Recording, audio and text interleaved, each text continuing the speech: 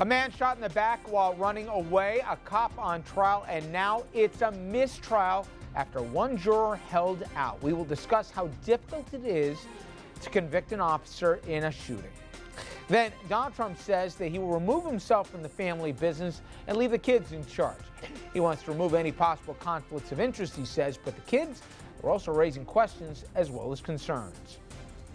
And the president elect, he is continuing to attack us, that would be the media, and he's also circumventing the media by tweeting out what he wants to say. Will that approach keep working once he moves into the Oval Office?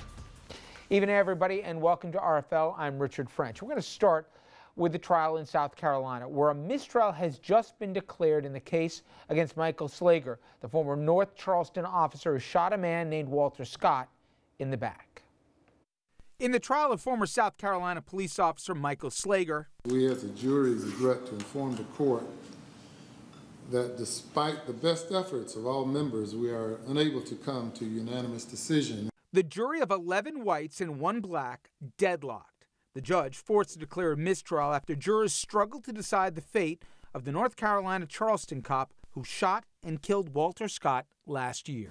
Court therefore must declare a mistrial in this case. Scott, an unarmed black man, was running away after a traffic stop when video captured Officer Slager shooting Scott five times in the back. Somebody is running from you.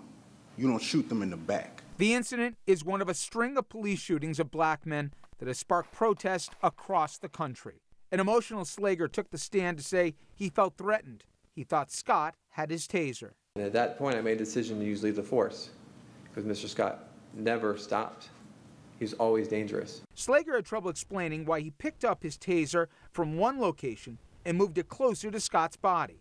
Scott's family accused the officer of planting evidence. The circumstances tough for jurors who have been deliberating for four days. He may have delayed justice, but he did not escape it. It's not over. So God say it's over. Let's introduce our panel. Richard St. Paul is an attorney. Jeannie Zaino, professor of political science at Iona College, also senior advisor at the consulting firm Applied Economics, and Andrew Whitman, our senior political correspondent, former Democratic New Jersey Congressman Steve Rothman, and Dominic Carter, political journalist and author. Um, I know I shouldn't be surprised, Richard, sometimes with these things, but in a million years, with the video as clear as it was, running away, shot five times, and then the more you see of the video, uh, what looked very clear to be planted evidence. Um, I didn't think there'd be a juror alive that wouldn't have convicted. Apparently, behind closed doors in deliberations, one holdout juror said, maybe I could see manslaughter, I couldn't see murder. Um, and we have the mistrial today. Before we get to the fact that oh, there'll be a retrial and everything else. What does this say? That even with this, there's not a conviction. Look, what it says is that it is very difficult to, co- to convict a police officer in this country. According to a website, let's say mapping, it's called uh, mappingpoliceviolence.com, says in 102 unarmed black men were killed in 2015. Of that 102, uh, only 10% uh, of that, about 10 police officers were charged with murder, and of that 10, uh, two were convicted. One served one year in jail. So that's about a 20% conviction rate if you believe these stats. Now, why say if you believe these stats?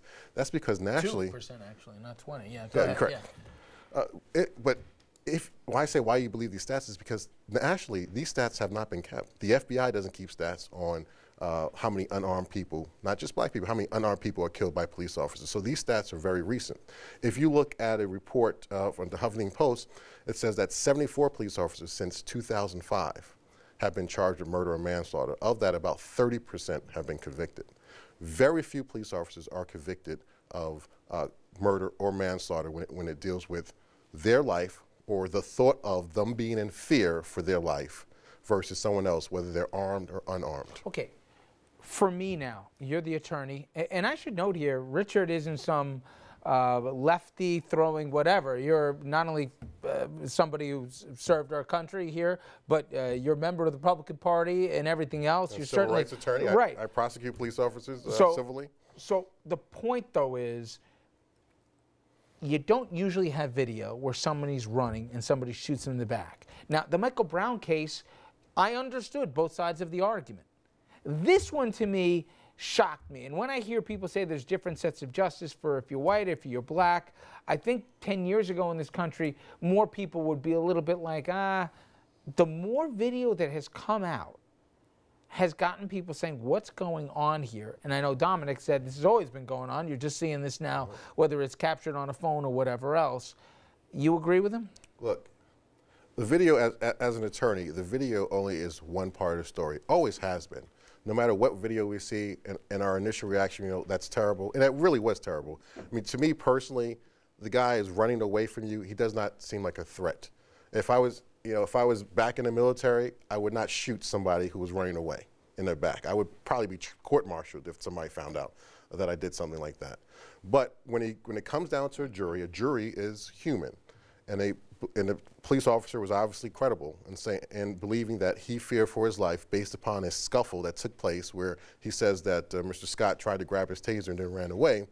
But the, the words that the officer used was, I fired uh, until I, the threat was neutralized.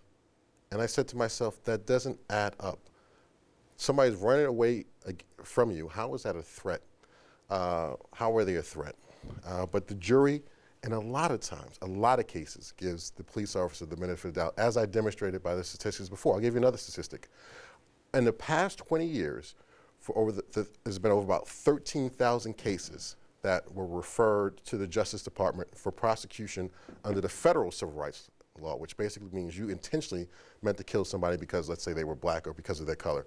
Of those 13,000 plus cases, 96% of those cases were rejected by the Department of Justice because these cases are so hard to prove. I can get why people, Dominic, are angry uh, tonight here. Now, in this particular case, there's calm in South Carolina as we speak. You saw the family speak that they and the prosecutors they're going to move for a retrial here, um, and the belief is it's going to be very hard not to get a, a conviction given the uh, compelling evidence that is seen on video. Really? Well, uh, nobody thought that they weren't going to get a conviction today. I don't know about that, Richard. I, I've been covering these cases for a very long time, and I, I, I hate to pull it in, put it in racial terms. I hate, I hate, but but we have to be honest at some point. Counselor is giving you the diplomatic version. The truth is, there's a reason why, and I don't want to sound polarizing, but it is what it is. There's a reason why 11 whites was on that jury. There's a reason for that, and only one black. There is a history in this country. Let's not act like, let's not, not be naive and act like, oh, we had a black president, so these things don't happen. Of course, the deck is stacked every day in courtrooms. Why do you think there wasn't more blacks on this jury? How does that represent a jury of the peers in, in the community there in uh, South Carolina? The fact of the matter is, if a police, the code word, and the cops know, feared for my life. That means if you're patrolling in the hood, juries say they're patrolling in the hood. We give them the extra benefit of the doubt because they're in the zoo dealing with the animals. No conviction. Clearly, though, here, by all accounts, there was one juror. Every other juror had agreed to convict him for murder. Okay? So if we're doing the, the numbers here, 10 of the 11 whites wanted to convict this guy of murder, the officer. One didn't. Do you. One black, one black. I I assume he was one of also who said, okay. Do you ever wonder that maybe the bar is too high or that eh, we have the best judicial system in the world, Congressman, but sometimes one lone wolf juror uh, can not only hang this thing here, but delay what seems to be eh, inc- uncontrivable evidence? You know, you, we all saw what we saw. And also, when pressed as to why he threw the taser down from where it fell to where the body was, he didn't give an answer for it. I heard the courtroom testimony. It made no sense. But yet, we are sitting again here where once again there's an inexplicable verdict. Well, as the grieving mother uh, of this of this victim uh, said, there will be more opportunities to try this police officer. I wasn't on the jury, none of us here were, so we didn't hear all the testimony, and we don't know uh, why they made their decision. In the coming days, we'll hear from the jurors. They'll be speaking to the media, they're allowed to now, as to what was going through their minds. But the good news is that this matter will be tried again, and there will be a verdict. There's been no verdict one way or the other now, it was a hung jury.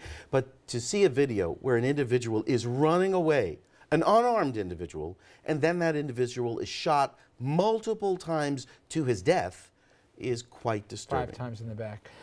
Um, I, I, yeah, Andrew, I go just ahead. want to ask Richard a legal question, because several times in the point of this conversation, i- it's been if the officer feared for his life, and we've used that as, as a bar. Is that the bar that an officer has to clear? If if an officer fears for his life, Think it- is any is any action justifiable? Yes, then deadly force. is So so maybe that's the root of the problem. I mean, there are a number of roots to this problem, and I'm not you know naive enough to think that I know the answer to them all.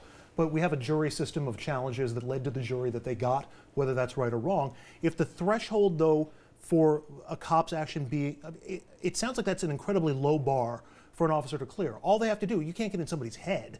All they have to do is say, I feared for my life. And if that's the case, I'm assuming that every cop fears for his life when there's a, a deadly shooting. Absolutely, A- absolutely. That is that is the standard. And look, when I'm uh, acting as a, uh, an attorney suing police departments, including here in Westchester, New York City, uh, there is something called escalation of force. Start, starting with a verbal command to follow the police order, stop, put your hands up, up to taser, up to the baton, and then uh, deadly force. There is nothing in the patrol guide that they use that says when you have to use deadly force, or you can only use it in these instances. It, th- there you have a lot of discretion upon where you should use deadly force. And police officers look at, I have to, I want to go home to my family too. Mm-hmm. I have to protect myself. So there's a lot of discretion. But but but better training can help. If the threshold was actually decision. in, like their life was actually in jeopardy as opposed to they felt their life was in jeopardy, I don't know if that's too imbalanced against police, but that seems like it would be a difference with a distinction. You know, Jeannie, it's it's it's runs a gamut. I, I had people this weekend say, "How did they not convict him?" You know, they always figure if you're sitting on a TV set, somehow you know. And I'm like, I, I don't know. They were at that point going to deliberate, and they did. They picked it up today. But they said, how did Officer Liang, in a dark stairwell, right, unintentionally shoot, but nonetheless uh, kill uh, poor Akai Gurley, right? And he gets convicted, and this guy walks, albeit temporarily, or we'll see. Okay. But to me, there's another argument. The police departments, I know there's cops watching uh, this show a, a lot. And I'm sure some of them are saying, oh, there goes Rich, you know, uh, trying to, you know, blame every cop for everything. To me, no. I think I remember Dallas. I remember doing these horrible stories. And we've had more officers die in the line of duty this year than in recent memory. And it's horrible. And I wouldn't want to do some of the jobs and some of the patrols they do.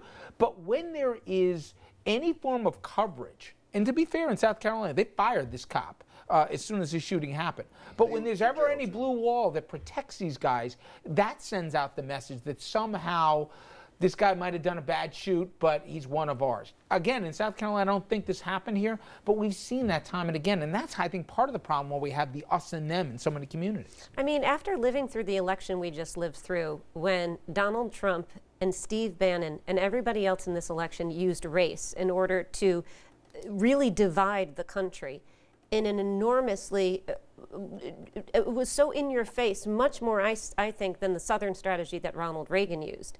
And the idea that on this case you could find one, I'm surprised that it was only one of 12, by the way, who just held out. One of 12 held out.